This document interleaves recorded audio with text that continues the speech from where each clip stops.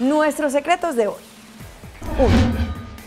Miembros de la Corte Constitucional nos han hecho una aclaración sobre el asunto de las madres comunitarias que el alto tribunal revisa el próximo lunes.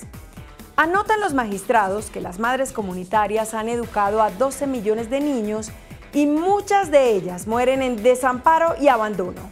No solamente en relación con el mínimo vital que garantice su subsistencia, sino con elementos básicos de seguridad social. Son personas que oscilan entre 65 y 75 años. La orden dada por la Corte Constitucional solo cubre 106 tutelantes.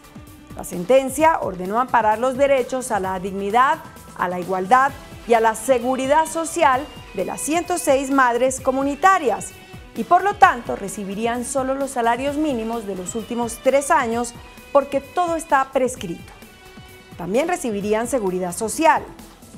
Lo que concedió la Corte es exactamente lo mismo que ya concedió Bienestar Familiar a partir del 1 de febrero del año 2014 para quienes actualmente ejercen la función de madres comunitarias y sus derechos cubren sueldos, aportes pensionales y prestaciones sociales.